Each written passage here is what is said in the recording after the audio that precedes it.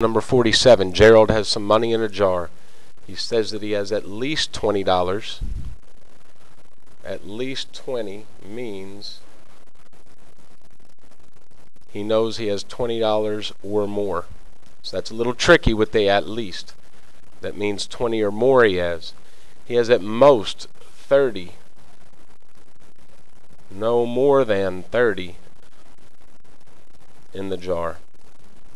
Let x represent the amount of money in the jar. Write a compound inequality. Inequalities are less thans, greater thans, equals, any of those.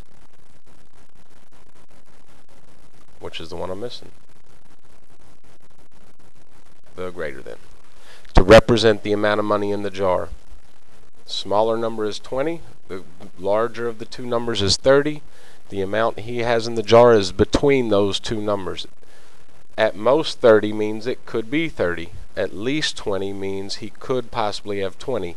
So the amount of money he has is somewhere between 20 and 30. That's a compound inequality. It has three parts to it.